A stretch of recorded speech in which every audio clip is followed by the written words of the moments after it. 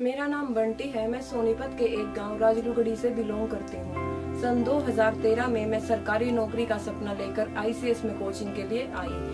पहले मुझे सरकारी नौकरी मात्र एक सपना सा लगता था।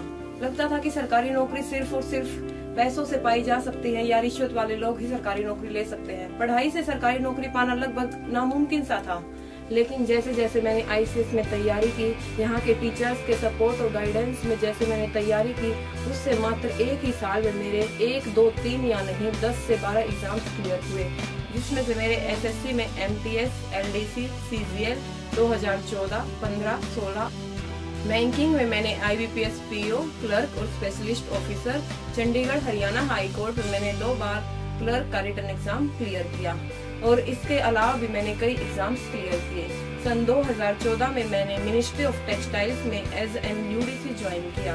उसके बाद सन 2015 में सीजीएल के तहत ही मैंने पूरे भारत में असिस्टेंट ग्रेड पे पहला रैंक प्राप्त करके दिल्ली में central goods and services and custom department में ज्वाइन किया।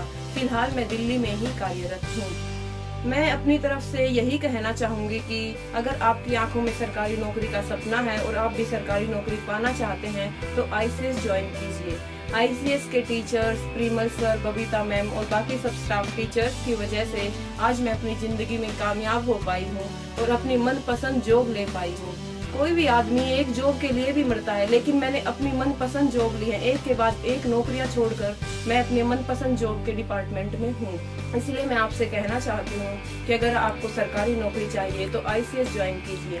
सरकारी नौकरी मतलब आईसीएस